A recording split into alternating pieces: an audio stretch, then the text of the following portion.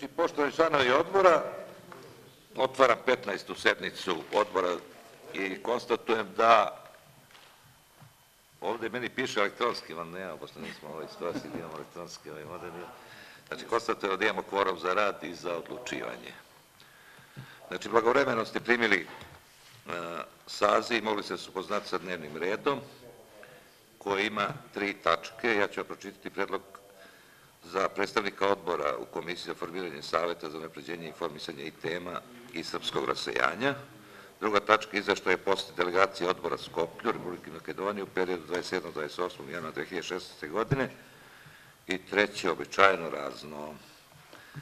Je li ima dopune dnevnog reda? Nema. Ko je za usvajanje ovakvog dnevnog reda? Hvala. Uzdržanih nema, protiv nema. Ti veko brojiš ti to tamo, kažeš? Jednoglasno. Pa znam, da si izbrojao. Znači, pre nego što pređemo na prvu tačku dnevnog reda, dobili ste zapisnik, ja verujem da ste ga svi ovako pažljivo pročitali. Jel ima primjedbe na zapisnik? Nema. Ko je za usvajanje zapisnika? Hvala. Uzdržanih nema, protiv nema, jednoglasno usvojen. Prelazimo na prvu tačku dnevnog reda. E, u stvari, ovu sednicu smo najviše i zakazali, ako hoćemo da budemo iskreni, zbog ove tačke prvog reda, prvog dnevnog reda, e, ali sam ja juče dobio informacije od predstavnika RTS-a, gde su me zamolili da danas na ovoj sednici ne biramo a, člana ispred našeg odbora, imajući u vidu da su najavljeni izbori, da možda budemo izabrali nekoga koji možda u sledećem sazivu neće biti poslanik, i prosto ja želim da vas informišem o tome. Nisam teo namerno da, da slanjam ovu tačku dnevnog reda, da ne bi spalo da mi ne želimo ili ne znam na koji način ovaj, da, da uslišimo zahtevu, zahtevu RTS-a. Ja otvaram diskusiju po ovoj tački dnevnog reda, imajući u vidu ovo što sam rekao i zahtev RTS-a. Ko se javlja za reč?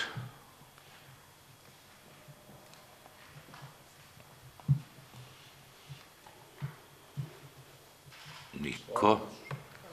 Znači, stavljam na glasanje da se ova, ta, sad samo nekako formulišem ovo, da li da, da sklonimo, ne, ne bih, ne bih ovu tačku slanjao, nego prosto da zbog najave i održavanja izbora, da se izbor, ovaj, jeste, odlaže. novog saziva Skupštine. Tako je, tako je. Ko je za taj predlog? Hvala, protiv nema, uzdržanih nema, hvala vam. Molim? A dobro, Jovana, ona i kad ne glasa, ona kaže za. A, dobro, Tako da, ovaj, nemaj ti sad... Izvinjavam se, nisam- ne, molim te ti oku. Pa ja je bolje poznajem, ovaj, tako da ovaj, znam i manire kakvi su. E, prelazimo onda na drugu tačku dnevnog reda, što mi se ovo sviđa ljudi kad idemo ovako, mi ćemo brzo vršiti, jedino ako Lintan na kraju ne bude nešto opet kao po običaju, znaš, nešto zakerao, nešto izmišljao, nešto, ne znam, vidjet ćemo stvari. da. pa ne ozbiljno. Znate, ovaj, A nema na Marka još tu da imam pomogu. a Marko, a gde je Marko? A, Ispitajnima danas. A, pa kako, kako to? Zamenik. A, je li ima zamenika? E. Dobro, onda prelazimo na drugu tačku dnevnog reda, izveštaj posle delegacije odbora Skoplju u Republike Makedonije u periodu 27. 28. januara 2016. godine. Dobili ste izveštaj.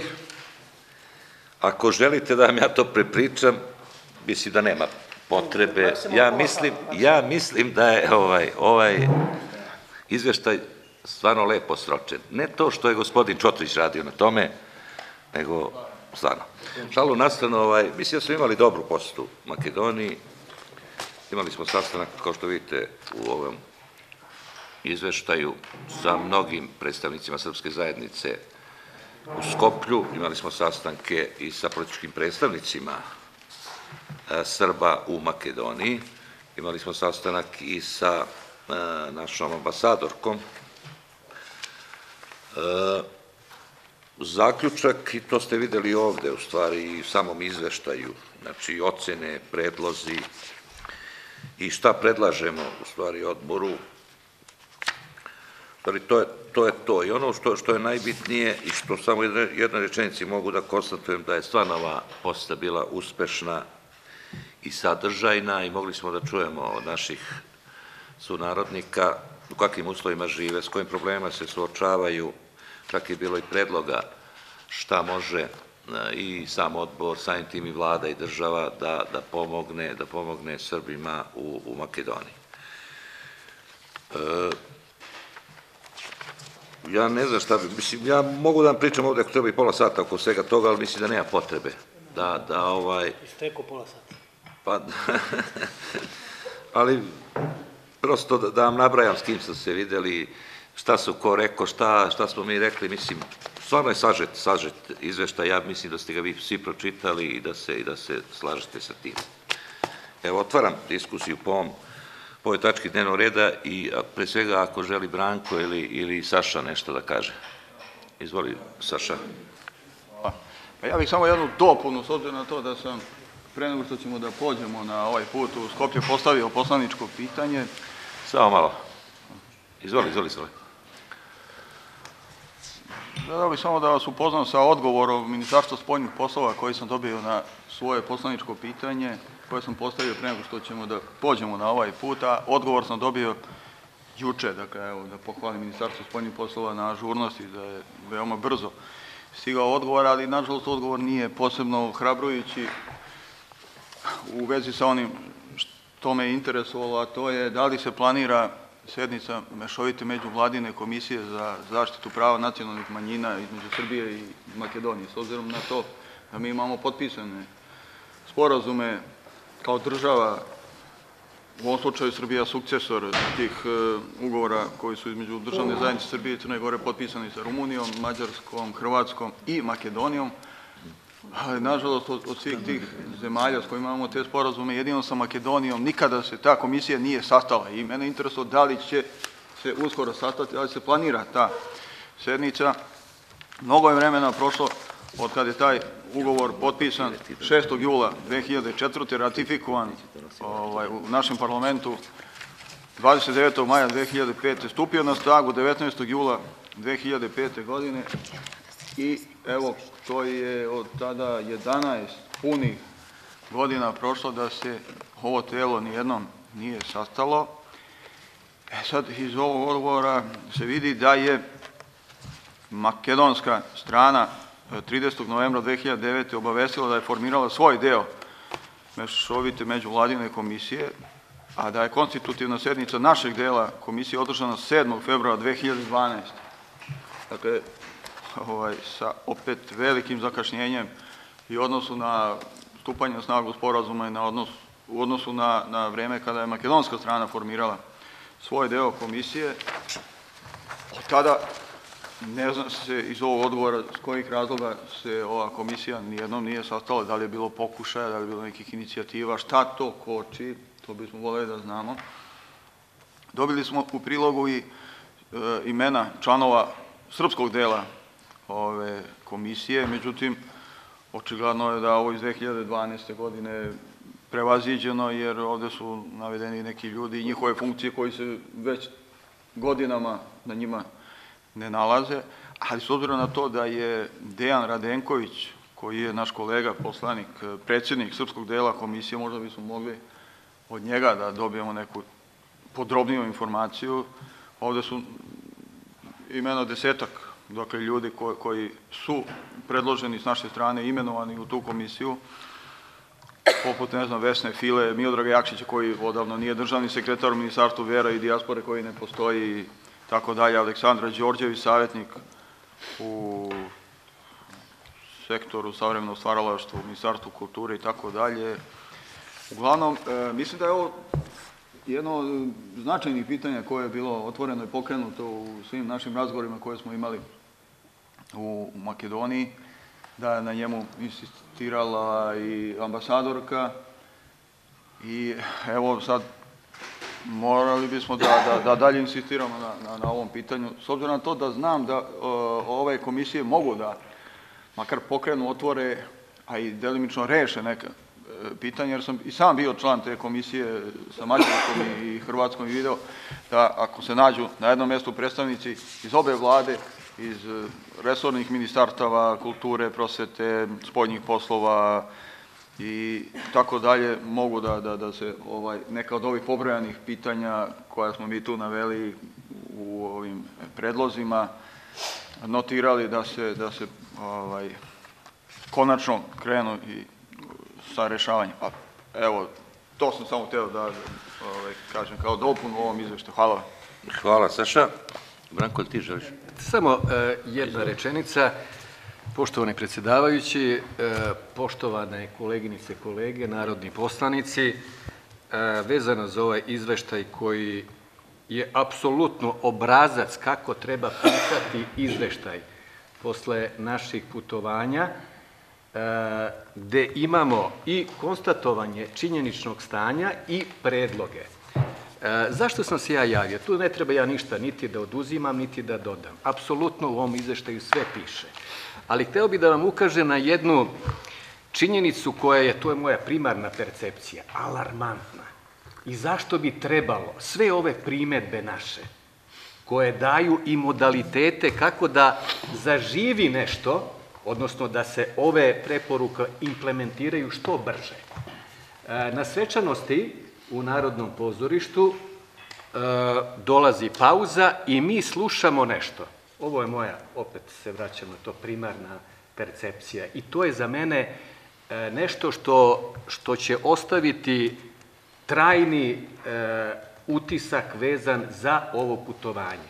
Naši ljudi na pauzi u Narodnom pozorištu, moje pitanje za sve nas, da li pričaju srpski ili makedonski? Makedonski. E to je za mene bilo poražavajući. Pora, poražavajuća konstatacija. Pričali smo. I predsednik našeg odbora, i Sale, i ja. Evo, prošlo je određeno vreme. Te impresije su se staložile. Ostalo je to. Znači, sve ovo što smo detektovali na terenu zahteva primjenu ovih mera što pre.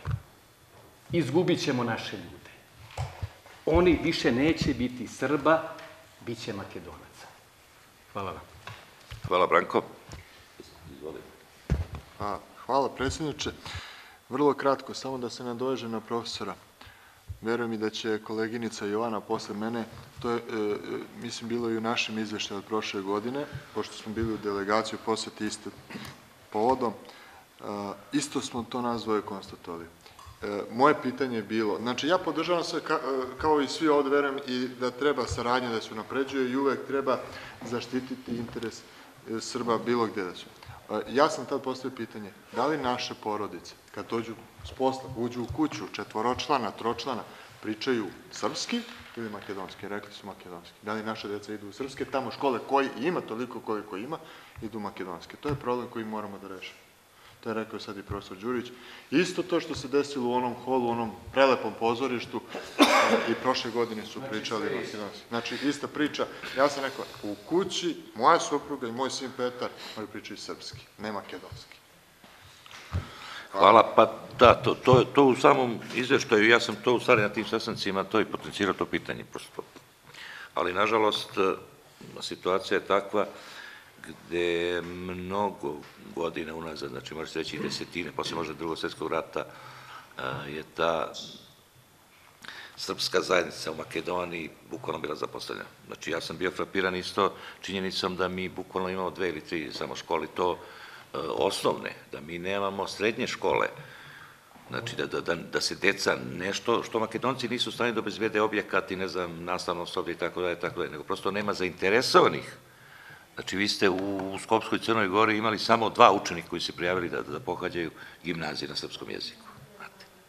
Znači, stvarno je e, frapantno i upravo iz tog razloga ovo što je, što je gospodin Čotrić govorio, mislim da moramo da alarmiramo i to smo ovde u zaključcima i naveli, i Ministarstvo kulture, i Ministarstvo prosvete, i Ministarstvo spoljnih poslova, i mi kao odbor sad, evo, nažalost, e, možda za par meseci nećemo biti u ovom sazivu, ali kogod da bude, e, moramo ozbiljno posvetiti pažnju znači problemima Srba u Makedoniji. Ja se bojim da ćemo za desetak godina pitanje da će se iko u Makedoniji izjašnjavati da je Srbin.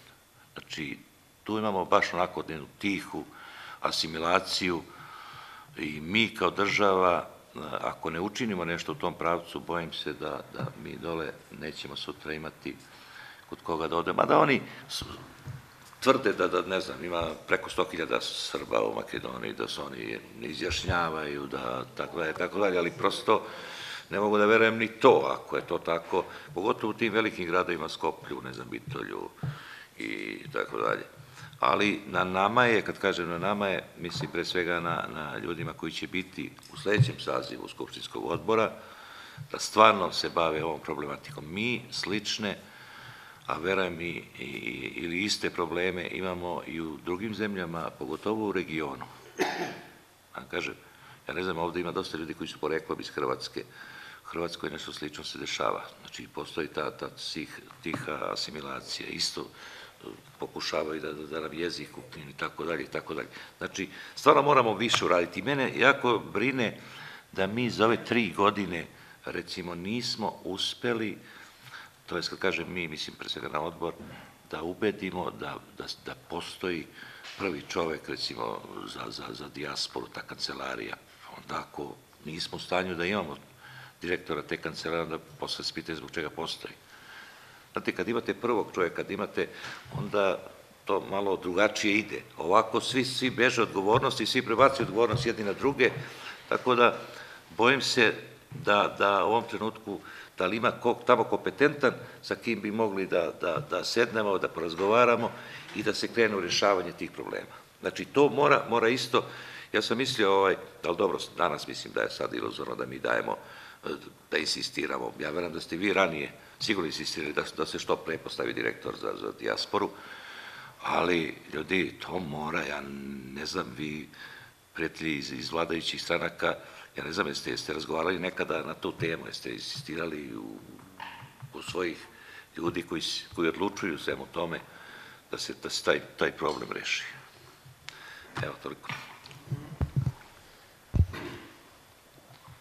Ja moram samo da vam odgovorim za to. Znači, e, potpuno sam saglasan da ako postoji neko ko vodi nešto, ne možemo mi gledati u nekog ko vodi nešto, nije bitno šta, i da idemo u ćorsvakak. Ako se mi ne menjamo sami, ako mi ne prihvatamo neku ideju, nama neće ni direktor kancelarije ili uprave, kako, ne, nebitno kako se zove, promeniti način našeg razmišljanja u Skoplju. Ono što sam rekao i što, što, što smo čuli, u holu, direktor ne, ne može da kaže pričajte srpski, ako hoće makedonski. Ne, nisam mislio Jel ne razumete? Znači, to su stvari koje, koje... Ali, želim da kažem da mi moramo da budemo realni. Rukavice moraju da se skinu. Koliko imamo mi organizacija ili udruženja u Makedoniji? Naših srpskih. Evo, Jovana će da me ispravi. Znači, voleo bi stvarno da uzme učešće, jer je ovo bitno za, za državu. Ne pričamo više ni stranački. Turska zajednica ide sve preko ambasade. Je li tako? A kod nas ide ko, ko, ko bliže vatri, taj se više ogreje. To tako ne može. Da, i to sam primetio. Ima čak, čak neko udruženja koje nemaju kontakte s ambasadom, niti žele da imaju, što je, što je najbitnije. Zašto? Zato što je neko bliži, neko se uzima više, veći deo kolača, neko manji deo kolača, to tako ne može. Ali ako mi se ne menjamo bilo gde da smo, onda niko nam neće pomoći. Tako zato, je. zato razmišljanje da sve prihvatam, ali svako mora da radi svoj deo posla. Tako je, hvala. Ko se javlja sledeći? Evo. Ajde, izvolite. Evo, ja bih malo se nadovezao na ove diskusije, pre svega na ovu gospodina Čotrića, a tiče se ove komisije. Šta mi da pričamo kad smo e, mi jedini krivci i neozbiljni u svemu tome. Mislim, meni žao što gospodin Čotrić nije e, tražio da danas bude predsednik te komisije ovde s nama i da nam kaže, ako je predsednik komisije, šta je radio i šta nije uradio. Mi očekujemo da tamo ljudi se izbore za neke pozicije ili za identitet srpskog naroda, a mi ovde se e, e, bavimo samo izveštajima, pisanijom, izveštaji su odlični, posle izveštaja mi ništa ljudi nismo preduzeli, niti preduzimamo. E, ja, nažalost, verujem da će i ovo pitanje danas koje smo preskočili da izaberemo predstavnika Komisije za, za formiranje Saveta za napređenje formisanja ostati isto na ovom e, nivou ove komisije. Znači, mi danas, bez obzira, nisam hteo malo pre se javim, ali smatram da je to pogrešno, drugi saziv kad dođe imali bi neki kontinuitet, bar početni tog nekog ko je bio u tom savetu za informisanje pri e, RTS-u. E, činjenica, e, Makedoniju znam odlično zato što sam tamo u Skoplju sam bio 19 godina, radio sam u vreme do 2000. godine, e, odnosno do 90 do 92. godine, tamo je bilo i gimnazija srpska i više srednjih škola i više osnovnih škola i, i pohađali su učenici. Ali naš odnos, sama činjenica da ova komisija koja je formirana 2012. godine nijednom se nije sastala, ništa nije uradila, govori o nama ili o našoj vlasti kako se ponašamo prema našim ljudima. I odjednom nama je čudo zašto u Skoplju ili u pozorištu Srbi govore e, makedonski jezik.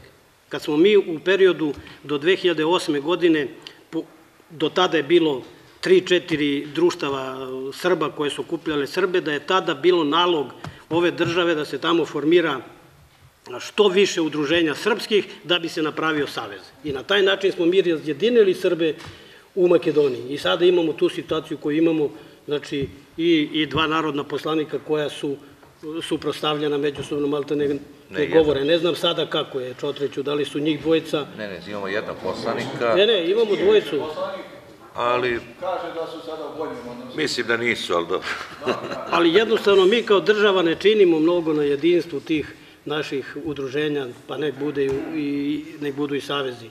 Ono prošli put kad sam ja informisao u vezi Slovenije, ista situacija. Imamo dva saveza koji međusobno ne komuniciraju ili, ili ne govore, a sada dobijemo podatak da naši neki predstavnici udruženja uopšte ne žele da ko- komuniciraju sa našom ambasadom. Znači, to nešto odavde treba pokrenuti i te ljude na neki način približiti e, približiti toj našoj ideji. A što se tiče asimilacije, pa ja mislim da nigde izraženija asimilacija srpskog naroda nije nego u Makedoniji. Nigde. Kompletna e, južna Makedonija od, od Skoplja do, do Đevđeli je bila naseljena srpskim stanovništvom, kompletna. Sela se zovu Nikolići, Despotovići i tako dalje. Sada se svi ti ljudi izjašnjavaju, selo se zove Nikolića, svi su u selu Nikolovi i svi se izjašnjavaju kao makedonci. I mislim, e, meni je žao što sve ovo tačno što su kroz izveštaje i zapisnike dostavljeno, ali ne činimo nakon toga skoro ništa da bi tu situaciju popravljali. Popravili. Ja verujem da će ovaj zapisnik e, posle dva, tri dana biti zaboravljan kao neki materijal na kome treba da se radi. Hvala toliko. Hvala. Hvala uvaženi predsjedniče. Pa, ja bih hteo da podsjetim da je jedno 5-6 meseci, a, i tu postoji u zapisniku, iznosam ideju da mi e, damo inicijativu kao odbor, ne samo da konstatujemo, i potpuno se slažem s mojim kolegom, da mi konstatujemo situaciju, ali ne činimo ništa da je promenimo. I na jednoj od prošlih sednica ja sam upravo pričao o problemu asimilacije, ali ne samo kod Srba u regionu, on je još izraženiji kod Srba u dijaspori. I predložio sam šta da uradimo po tom pitanju. Da mi napravimo projekat ili pododbor koji će se baviti time šta mi možemo da učinimo za dijasporu, a ne samo da tražimo od njih, kad nam se dese poplave, da skupe pare. Mi za njih ništa ne radimo. I post... mogli bi da napravimo, ja sam to predložio, dva projekta sam predložio, jedan je bio za osnivanje baze podataka koja bi bila komercijalna i koji smo se čak na jednom sastanku dogovorili da će biti na dnevnom redu na sledećem i naravno to niko nije uradio, a takođe sam predložio da, s obzirom da imamo na primjer na Koponiku, mnogo ležajeva slobodnih, da napravimo nekomercijalnu stvar pod patronatom vlade i da nekoliko hiljada naših, naših mladih momaka uče srpski jezik tada, ali nekomercijalno. Tako da možemo našoj dijaspori da kažemo šta smo mi tu radili, da im ponudimo nešto, s obzirom da ima veoma loše iskustvo s našim političarima koji su u nekim ranijim vremenima odlazili tamo, uzimali pare. I, iz, iz potpuno jasnog razloga imidž srpske države u našoj dijaspori je veoma nizak. Mi treba da učinimo nešto, da učinimo nešto za dijasporu, a ne samo da konstatujemo. I naša je krivica što to ne radimo i nalazimo izgovore za rad. Ja ne vidim razlog u čega mi ne bi na jednom od sledećih sastanaka napravili plan, zadužili nekog i predložili, mi ne možemo da radimo u Ministarstvu poslova, ali da predložimo realizaciju jednog projekta gde bi prvo napravili pilot projekat sa jedno 50 naši koji bi došli, videli šta je loše, šta je dobro, da oni uče zajedno jezik zajedno s našim, pošto je proces asimilacije, zamislite kojom brzinom tek ide u prekomorskoj dijaspori, kad ovde u jednoj našoj a, susednoj državi imamo ovakav proces. Ovde imamo prednost da je Srbija je graniči se s Makedonijom, sličan je jezik, a, mogu da slušaju radio. Oni tamo naši ništa od toga nemaju i možete na jednom prošlih sastanaka sam rekao da u trećoj generaciji jezik praktično ne postoji. Oni razumeju, ali pasivno govore, ja to odgovorno tvrdim, pošto sam pet godina živeo tamo i video sam kakav problem imamo i kakav je uticaj nas, odbora i Ministarstva inostranih poslova na to.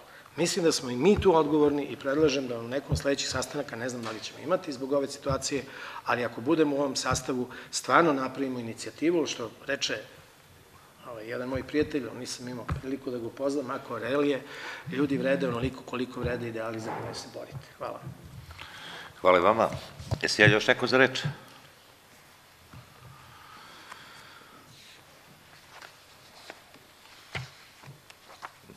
Da, stavljamo na glasanje. Ko je za usvajanje ovog izveštaja? Hvala, protiv nema, uzdržanih nema. Prelazimo na treću tačku dnevnog reda, e, razno. Pre nego što dam reč e, drugim članovima odbora, želim da na početku da vam kažem da ste na početku ove sednice dobili e, pozivno pismo sa programom koji je naslovljeno na moje ime i stiglo je pre dva dana. Na ime Milovan Jovanović, predsjednik Skupštine Dijaspore Srba i Južne Francuske, poziva točlanu delegaciju odbora radi učešća na danima frankofonije koji se održavaju u Lionu u periodu od 14. do 18. marta 2016. godine. E, on je zamolio da u delegaciji bude član odbora Siniša Maksimović, imajući u vidu predstavljanje naših turističkih potencijala, verovatno da, da je mislio ovaj, na potencijale Koponika, Ribarske banje, Jastrebca i tako dalje i tako dalje Siniša. Tako da, evo ja, ja na početku pitam je Siniša slaže s tim da bude jedan od članova delegacije. Ja sam proglašen, ali ne znam otkud moje ime, ja sam nekada radio jedno deseta godina u ovoj oblasti i ovo o čemu je uvaženi kolega malo pre govorio, nekada je država na samom Kopavniku bila izgradila jedan omladinski hotel 90. godina koji je imao kapacitet 370 leževa, pet Devet- malih terena, dva travnata terena, 9,5 hektara zemlje, 530 kvadrata na Novom Beogradu i tako dalje. Država je tada zamislila upravo ovo... E, uključi kolega- samo mikrofon, molim te.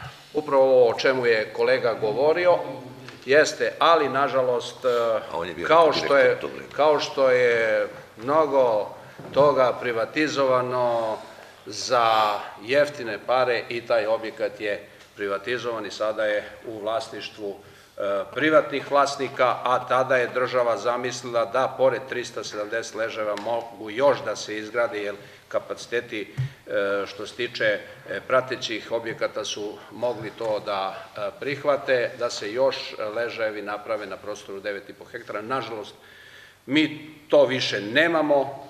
Meni je i lično jer sam ja iz tog kraja i tako dalje, žao što je to tako. Dobro, ali- bio si direktor. da Pa ne nekada, tako u neko vreme. A dobro, kad- nije to tema. Nije to ovaj, tema, sam prihvataš samo ti, ovaj, kolegi, ja sam počašćen da me je neko pozvao, ali ja ne odlučujem o tome, odlučuje odbor. Ok, znači, Siniša je prihvatio, Ne, ne, ne, ne, ne. pri, Siniša je prihvatio, ovaj, zato vas molim da date predloge još za dva člana delegacije. Ne, predsjednik odbora ne mogu, ja to vreme putujem na interparlamentarnu skupštinu. To je između 14. od 14. do 18. marta. Evo neka iz... Ko? Kažem, ja imam predlog. ja. Dobro, izvolite. S obzirom da se radi o pozivu za turizam i hotelijerstvo i da je gospodin Stevanović jedan od članova odbora, a takođe i bavi se hotelijerstvom, ima u vlasništvu tri hotela, turizmom. Znam pouzdano da dobro govori francuski, mislim da ne bi bio loš predlog da jedan predstavnik bude ovde. Što se mene lično tiče, ja se apsolutno slažem i sam sam razmišljao gospodina Stevanovića da predložim, imajući sve to u vidu, ko je to da gospodin Stevanović bude drugi član delegacije? Hvala. Uzdržanih nema, protiv nema. Treći član.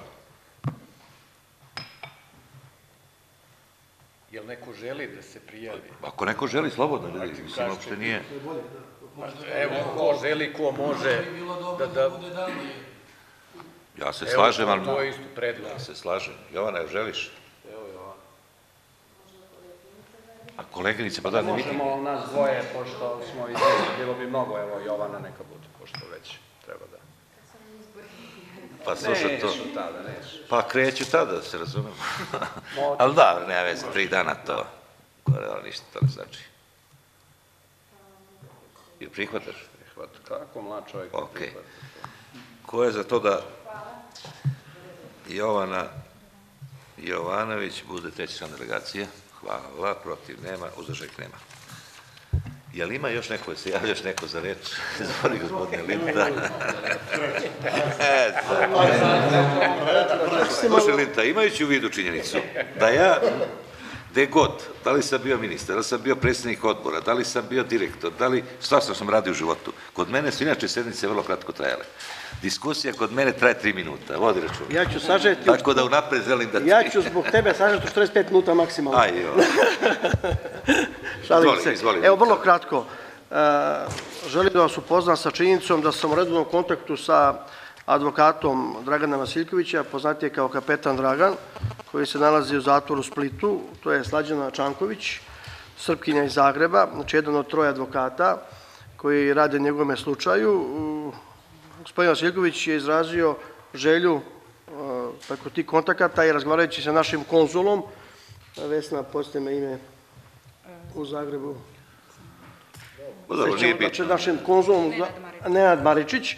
Znači, on je izrađao želju da neko dođe od članova odbora u posjetu njemu u zatvor. E, ja sam, vi znate dobro da je Hrvatska država 2005. godine pokrenula proces protiv, odnosno pokrenula istragu protiv Dragana Vasiljkovića, da taj proces je trajao 9 godina u Australiji, da je najveći dio vremena proveo u zatvoru, odnosno pritvoru u Australiji, da je prošlog ljeta prebačen u Hrvatsku i da je to presedan koji je uradilo pravosuđe Australije. Nikad do sad a, Australija nije svog državljena izručila stranoj državi.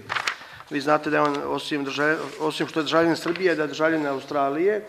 A, Ovdje je bio šest meseci u pritvoru i posljednjeg dana Hrvatska je podigla optužnicu protiv njega i sada se čeka a, šta će a, reći a, nadležno vijeće, da li će potvrditi tu optužnicu ili neće i onda će početi sudski proces.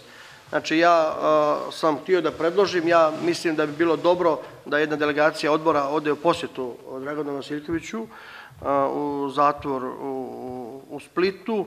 Također e, znate da Haški tribunal koji je po meni politički sud iz poznatih razloga nije našao nikakve dokaze i činjenice da podigne optužnicu protiv kapetana Dragana.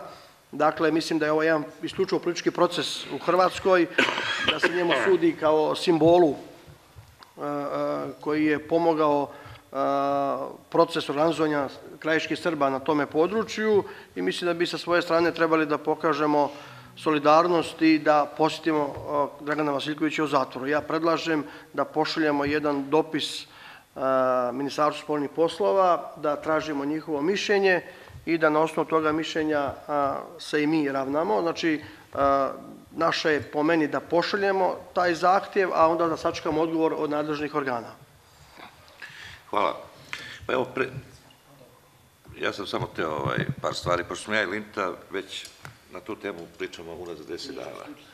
A, ovaj, ja, da me niko ovde pogrešno ne shvati, a, stvarno nemam, nisam protiv bilo kakve poste, ali a, moramo imati u vidu a, trenutak, politički trenutak i tenzije koje, nažalost, postoje na relaciji Srbija-Hrvatska, da mi možda našim zahtevom ja kažem možda, na vama je, gospodo članovi odbora, da, da, da odlučimo, dodatno možda ne, ne iskomplikujemo, ako hoćete, i sam položaj gospodina kapitana Dragana, a i same odnose bilateralne i političke između Srbije i Hrvatske. Zato, pre nego što otvorimo diskusiju o ovom pitanju, moramo imati u vidu te, te činjenice. Evo, Samo, samo sekunda, predsjedniče, ako može. Znači ovde e, ja predlažem da odbor donese odluku da se traži konsultacija od Ministarstva spoljnih poslova. Ne, ne da mi donosimo odluku o, o odlasku u posjetu Draganu Vasiljkoviću, nego da donesemo odluku da tražimo mišljenje Ministarstva spoljnih. poslova vezano za našu inicijativu. Javio se gospodin Stevanović prvi. Uh, Ja ću samo kratko, potpuno je slažem sa, sa Lintom i smatram da, da on stvarno ima iskrenu želju, ali moramo da razmislimo o, političkim konsekvencama svega. Želim samo još jednu stvar da vam kažem da znate zbog čega je on tamo. Znači, e, Hrvatska nije podigla a, tužbu protiv njega deset godina posle rata. Podigla je po nalogu Haškog tribunala, to je jedini razlog. Oni znaju da on nema ništa, ne bi podigli, zato što je u zadnjem trenutku a, bio je praktično a, svedok optužbe i u zadnjem trenutku, mislim, na kraju je rekao da praktično nije bio svedok optužbe. Haški tribunal, pošto ne može da ga, pošto ne može da ga optuži, on je naložio Hrvatskoj državi da ga on optuže. Deset godina posle svega, ne više, da pokrenu istragu i to je, to je, to je rezultat svega toga. Mislim da mi stvarno treba da stanemo maksimalno iza njega, ali da e, ne napravimo neku političku štetu svemu tome i slažem se da mi kao odbor damo inicijativu i da tražimo mišljenje Ministarstva e, spoljnih poslova. Hvala. Izvoli, Makso.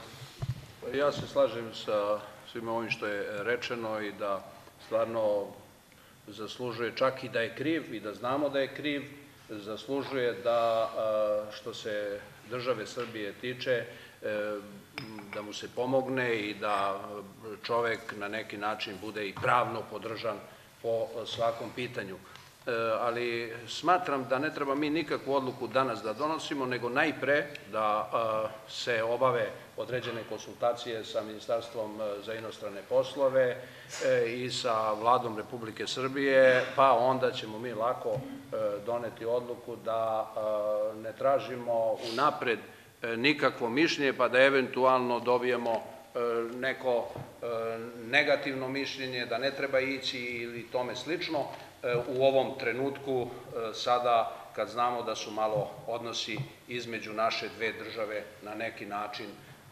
zategnuti, e, trebalo bi da predsednik odbora i gospodin Linta, koji je čovek u toku, da obave sa Ministarstvom inostranih poslova i sa vladom Republike Srbije najpre razgovore, da vidimo u kom pravcu mi treba da idemo i da onda lako ćemo mi doneti odluku ko treba da ide i kada treba da ide i tako dalje. Hvala, Maksimović. Izvolite.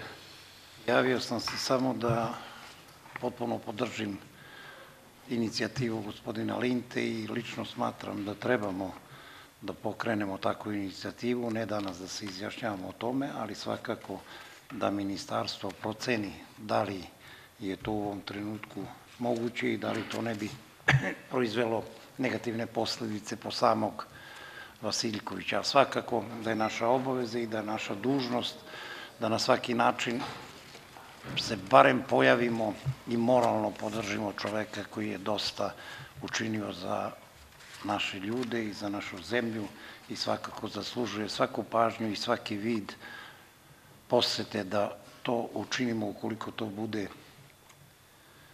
prihvatljivo od strane Ministarstva inostranih poslova. Ipak su to stvari koje treba dobro proceniti da ne budu kontraproduktivni i da ne napravimo pogrešne poteze. Hvala lepo. Hvala. Je se još neko za reč? Ne? A izvoli. Pa, hvala predsjedniče. Ja neću samo da se nadovezujem ovaj.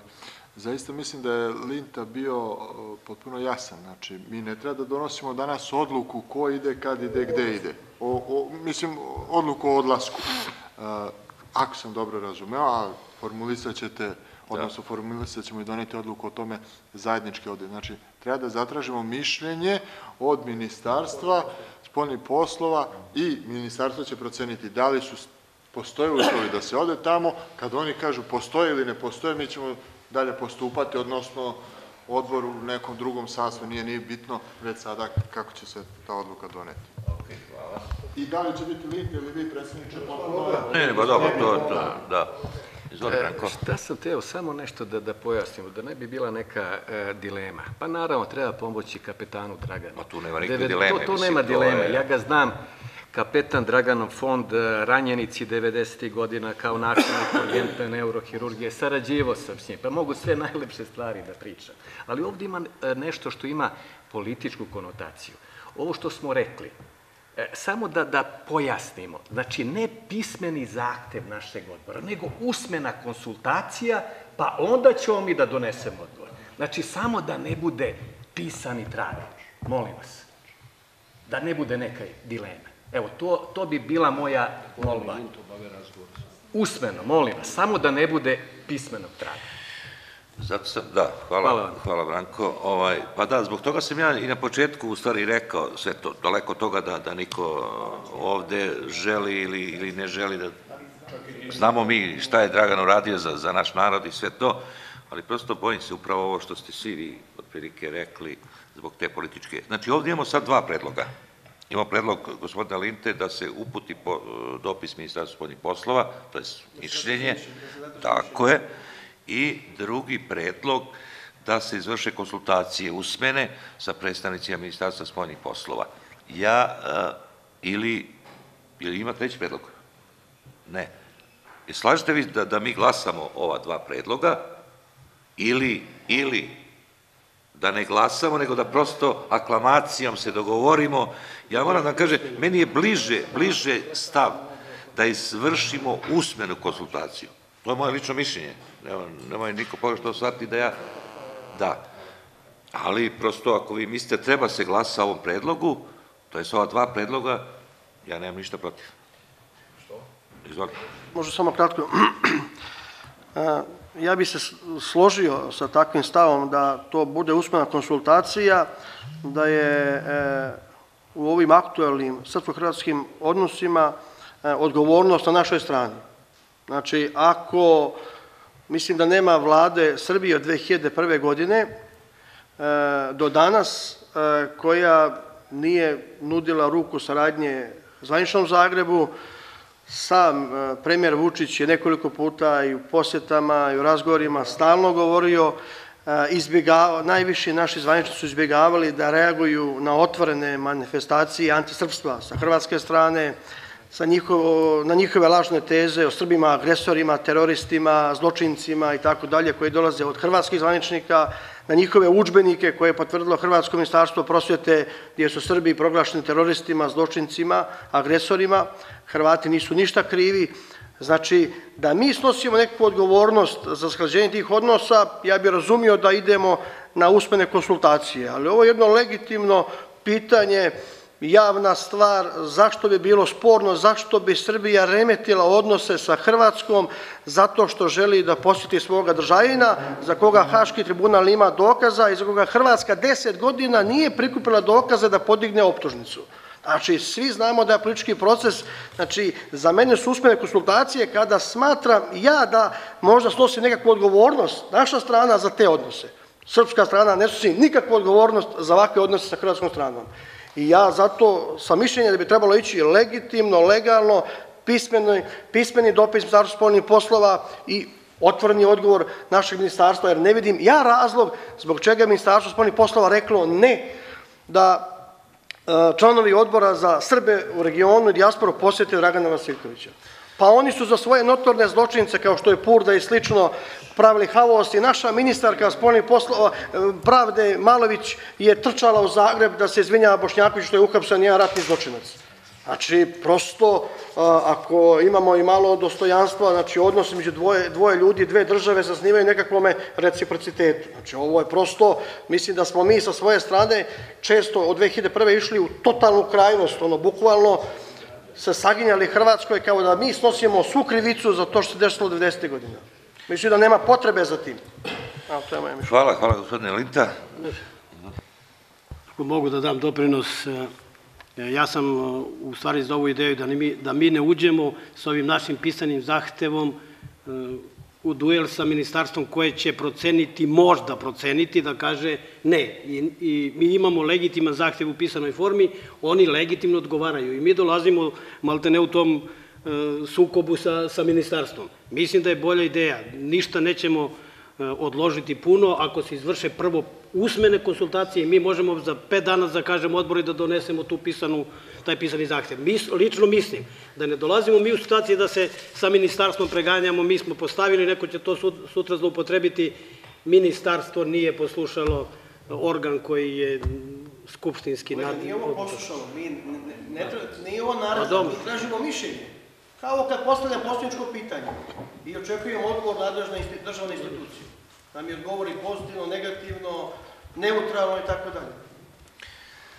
Ali ja sam to da gledam, prosto da se izjasnimo. Izvolite. Ja stvarno moram ponovo da se javim, jednostavno ne razumem zašto bi, zašto bi se mi ustučavali da uputimo jedan zvaničan dopis svom ministarstvu da nam pripomogne u, u, u takvim stvarima. Prosto ne razumem, jer jednostavno to je kao i svako drugo pitanje. I ne vidim zbog čega bi to bilo nelegitimno i zbog čega bi ono drugo bilo legitimno. Šta to mi treba da sakrijemo, što imamo želju, što imamo želju da se pojavimo i da jednostavno e, pokušamo da na neki način uh, uvažimo ono što je naš čovek radio za svoju zemlju. Ne razumem. Hvala. Evo, znači, kao što sam rekao, malo pre imamo dva predloga. Ko je za to? Samo sam teo nešto da dam. Ja se e, stvarno izvinjam, nisam teo ponovo da se javim. E, sve ovo e, što slušam, mi imamo ovde dva pristupa. Imamo jedan pristup putem empatije. Sve ovo što je Milan rekao, ma potpuno se... A? Dobro, Miodraško. Što je rekao, apsolutno se slažem, pa potpuno i potpuno u emotivnom smislu te podržava. Pa svi to misle. Ali, ovde smo članovi Narodne skupštine. E, kad je pravni proces u pitanju, polazimo od prezumcije nevinosti. Da li ćemo mi, kao predstavnici najvišeg zakonodavnog organa ove zemlje, nešto tu narušiti? Zato je moje, moja molba malo pre, koju sam izrekao, bila ta da usmena konsultacija, jeste ovo sve javno, što nije ništa sporno, ali imamo jednu konotaciju kad naš odbor ispred Narodne skupštine kao najviši zakonodavni organ šalje u pisanoj formi ministarstvu spoljašnjih poslova. A druga je konotacija, možda ja ne razumem kao neurohirurg, ali ovo mi je nešto blisko zdravom rezonu. Evo, pokušao sam da objasnim zašto je moja molba bila upućena u tom pravcu. Hvala. Hvala, profesore. Znači, kao što sam rekao, imamo dva predloga. Očigledno da ja sam najviše bi volio da možemo aklamacijom da, da se dogovorimo, ali vidim da postoje različna mišljenja, ja sam u obavezi da stavim ova dva predloga na glasanje.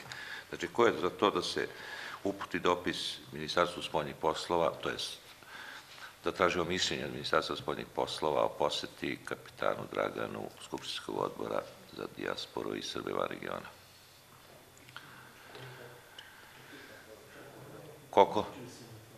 Četiri. E,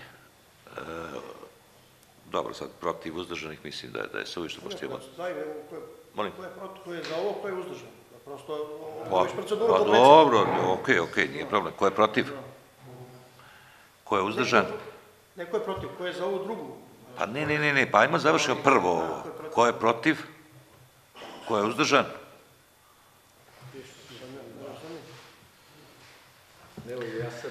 Ok, pa dobro, dobro, nema, moramo, molim vas, Ko je protiv, nek digne ruku, da je, da je prosto... pa nije niko protiv. Znači, uzdržanih imaš, ste izbrojali?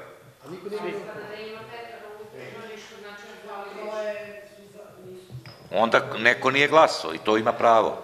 Prema tome, nemojte ništa da, da, pre, molim? Pa naravno ću da, evo sad prelazim.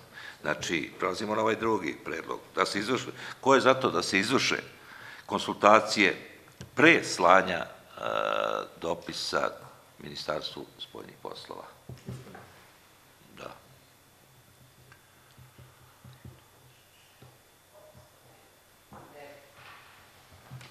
Devet. Znači, konstatujemo da je prihvaćen drugi predlog da se izvrše usmene konsultacije i za tako nešto a, ja predlažem da te usmene konsultacije izvrši gospodin a, Miodrag Linta. Nema potrebe Ne, ne, da ne, bude ja dvoj. bih predsjeće volio da prosto ti to uradiš, pošto si ti zagovornik te teze. Ne, ne, pa, pa ne, ne, ne, ali mislim da bi bilo dobro da to uradi predsjednik. Ok, evo, evo, prihvatam da budemo ja i Miodrag Linta. Jedan će ići sa jednom organizacijom, drugi sa drugom. Ali dobro, šalom na stranu. Ok, ko je za to da, da, da konsultacije... E, da. Hvala. Samo malo, Makso, nismo završili. Polako, nemoj, pa ja znam, pa žurim ja, veruj mi. Evo, žuri, žuri za Je se javlja još neko za reč? Ne, hvala. Ovim zaključujem 15. sednicu odbora za dijasporu i Srbu regionu.